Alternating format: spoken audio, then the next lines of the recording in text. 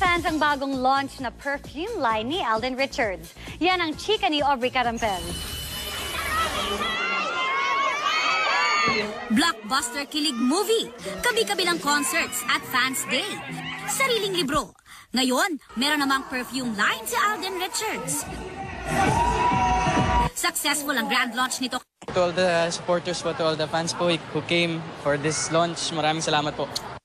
Thankful din si Alden sa magandang feedback ni Queen of All Media Chris Aquino na nanood ng Imagine You and Me kasama ang mga anak niyang sina Bimbi at Josh. Sana nga raw magkaroon ng pagkakataon na makatrabaho niya si Chris. We're looking forward po for it. So thank you po, Miss Chris, to the very nice message po for the movie. Umaasa rin si Alden na magkakaroon uli sila ng movie ni Maine.